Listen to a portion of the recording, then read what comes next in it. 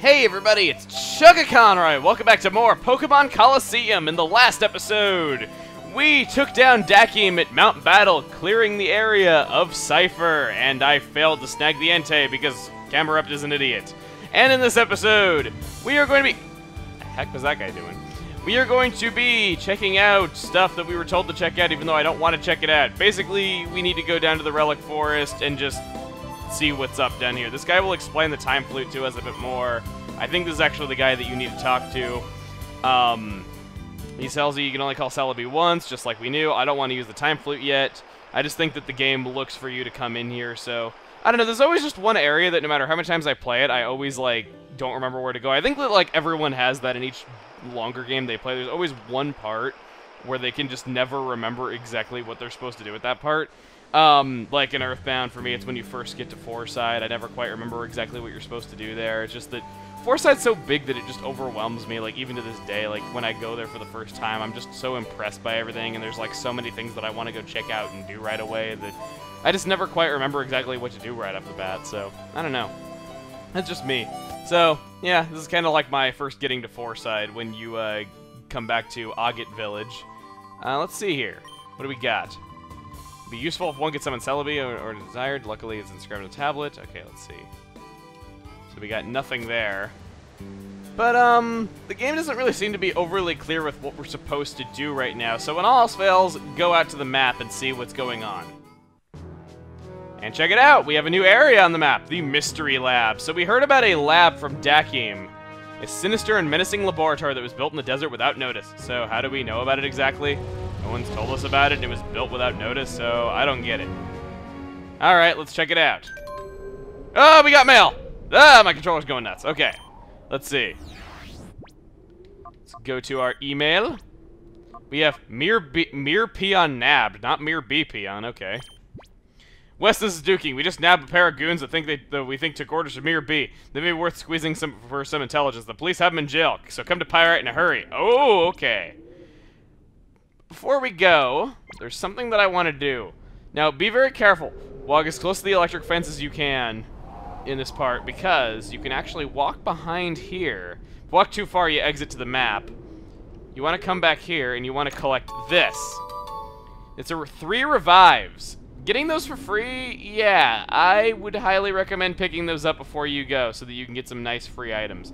I don't think there's anything else along the edges of this thing, so yeah, we're just going to take off for the time being because we can't really do anything here. I like how vast this desert looks. I mean, granted, I know that's not exactly, you know, graphically impressive to make a vast desert that stretches off into the horizon, but I don't know. I just, I like the Orre region a lot. Like, it's just, I kind of grew up in, like, a more deserty place, and it's kind of funny, though, because I grew up in Arizona, and that's actually exactly what Orre is. It's based on Arizona, as funny as that sounds. Uh, it was based on an American region before uh, Pokemon Black and White came out. A lot of people say that Unova is the first American-based region. No, it's not. Listen, listen. Chief Sherles and I, we caught two more suspects. They claim to be, they claim, they came back to that cranky old, to that creaky old building. We nabbed them on the spot. what do you got? Huh, you went and checked out the lab? Hehe, what could it be? I don't have any clue about what's going on at that lab. Right here we have a shiny, we have a jail key, so we can now open up the cells. And, okay, wait, hold on. Did you see that pop in right there? Uh, so nothing on the bed, nothing on the bed, nothing on the bed. Oh my god! Okay. Yeah, I don't get it either, but for some odd reason, uh, the draw distance there is really bad. So how about we use these jail keys and we talk to you. Huh? You wouldn't check the... Okay, he's not going to say anything new. Dang it. Okay, so we could do this. So there'd be... The, they said there'll be some prisoners, so they split me and follow you up. But you know, the guys in the next cell, those voices sound familiar. Alright, so let's see. Let's uh head in there and let's try to question them. I know, opening the doors to these jail cells really safe when you have friggin' Johnson on the patrol, or not, friggin' Johnson on duty. And oh my god, your feet are huge! Ferma. We were at, we were collared when we tried to sneak back down to the under. It's just another thing that goes with this, that, and everything else you caught. It's all your fault. So if you recall, we fought her when we were uh, at the top of Mir B's hideout when we were about to go into the cave. Reath. An elevator going down. There's a key of some sort in her belt. Will you take it? Um, reaching onto a girl's pants while she's asleep. Uh, okay. I guess that sounds like a good idea. Alright, so we get an elevator key. So with that, they have told us something that's they've told us there's something in that building that Miror B was using as a hideout, and at the same time, there's something about an elevator going down. Hmm. What do you say we go and check that out? What do you say we see what that is exactly about? What do you say we do something else that has the word out at the end of it? Let's go and get some gout. Okay, no, let's not do that. That'd be pretty bad. So, in this building, you could go over there with that elevator key, and you could, you know, fight her. You could go down that elevator and see what's down there that is so important to Cipher. Or, or, you can go over this way, and you'll notice that this roller boy will actually rematch you. And actually, in this battle, Espeon learns Psybeam, so I'm gonna go ahead and get rid of Confusion. Confusion only has 50 power, compared to Psybeam having 65 and having the possibility to confuse just like uh, Confusion does. So that's kind of nice. We're not losing an effect, and we're also gaining more power. So very welcome to that, because man, we've been stuck with Confusion for much too long. So when you go over here to try to heal, you see that this Roller Boy rematches you. So you go upstairs. And you get another rematch. And another. And another. And another. And, uh, oh, I faked you out, didn't I? Well, Corona is evolving! What will it become? Everyone knows. But I'll be quiet.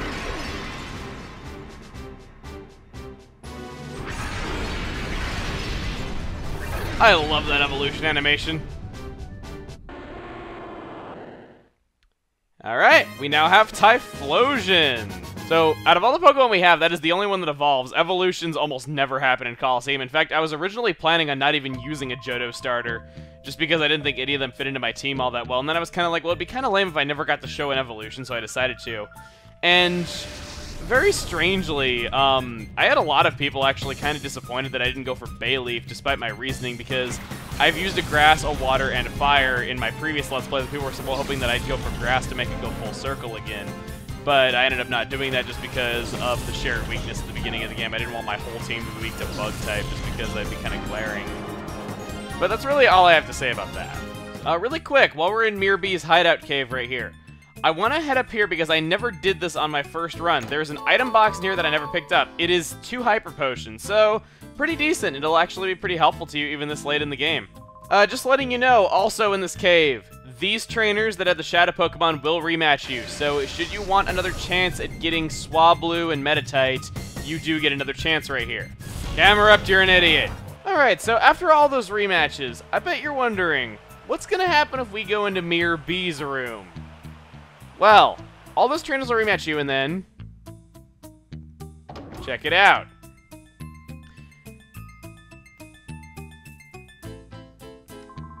I'm Miracle B! Ah, I'm Miror B's rival successor, gonna get me an afro! Yeah. Seriously. They did this. This is an optional boss. You do not need to fight this guy. He has no Shadow Pokemon whatsoever. He will only appear here after you have defeated Dakim at Mount Battle. And it's very, very out of the way. Also, if you finish the main story, this guy is no longer here, so it's only within a very specific window of time that you can find him. And it's only if you were curious enough to see what would happen if you went all the way to Miror B's room with all those trainers rematching you on the way. So, yeah. Anyway, he started off with Sandslash, level 38, 39 ground type with the moves Protect, Flail, Slash, and Aerial Ace, as well as Linoone, level 39 normal type with Headbutt, Roar, Protect, and Flail. I'm not really sure why, but he's most of his team knows Flail. I'm not really sure what it is. I don't know. Maybe he's thinking if he just flails around enough, it'll count as dancing. I don't know. That's really the best thing I can think of. Uh, in fact, I think actually his only one Pokemon in his whole team doesn't know Flail. But yeah, this guy is a Cipher Peon recolored to have a gold suit like Miror B and then have half his head be white and the other half be red. So it's like he's starting to grow an afro, but it hasn't come together into a ball like Miror B's has yet. I don't know, I just, this is so random. It's so weird. It just, a lot of people I don't think even know this exists. It's so random. I actually found this as a kid too, so yeah, anyway. Um, Electrode, level 39 electric type, the moves ele uh, Explosion, Spark, Light Screen, and Protect.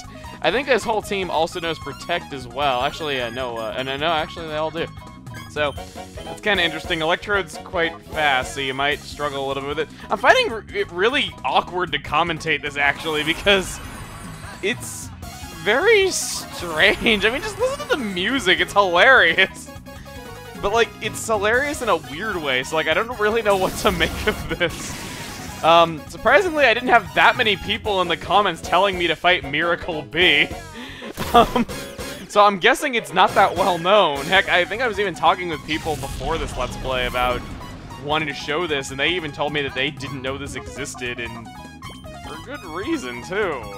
It's really odd. this music! I want like an extended version of this. Then again, someone's probably gonna upload one now that I said that. Uh, so, oh, come on. It's always, I swear to God, it is not 30% of the time does it actually paralyze you when you attack something like that. It's 100% of the time. It always is. Yeah. Let's, uh, flame wheel on Linoone. Okay, there we go. Alright, what are you doing, Electrode? You're... Damn, Corona's really getting picked on here. Yeah, headbutts, it's going for Corona. Dang it, I was so hoping that we get Misdreavus here. Plus, that Electrode knows Explosion. I was kind of hoping that it would that it would do Explosion and uh, it would not affect Misdreavus, but unfortunately we're not getting that. Okay, and Electrode's fainting animation is hilarious, just his eyes. Alright, so we take him out. Get our experience, and what's sending out now? He's sending out Seaking! Level 39, Water type, but the moves Waterfall, Horn Attack, Flail, and Protect. So, interesting to say the least. Uh, we'll use Shadow Ball, and I guess I'll keep Corona out there because Corona is kind of not all that useful to me, and if I healed its paralysis, I think Seaking would just take it out all the same, so I might as well just have Corona there to take another turn of hits so that Misdreavus can get in some free damage and so that I can send out something for free next turn. I know it's a sacrificial play and it's not very nice, but hey, I don't really have much else I can do. So Waterfall, like I knew it would, and of course it's Corona. Corona goes down, and who should we? We'll do Quagsire, okay. Oddly, out of the Pokemon that I'm actually using, speaking of that, people seem to keep not knowing that I am not using my Umbreon. I know, it's really weird though, but a lot of people seem to just continue being like, you know, you really need to use your Umbreon more because it's falling behind in the levels. No, I'm not using my Umbreon. It's just kind of there because it was a starter Pokemon. I don't intend on using it through the end of the adventure. I just kind of have it there with me because I might need a Dark type to take a Psychic hit every once in a while, and people were telling me not to get rid of it for, you know, immediately like I was thinking of doing. And Horn Attack, it doesn't hit Misdreavus, of course. So, okay, let me get this straight. Miracle B, right here.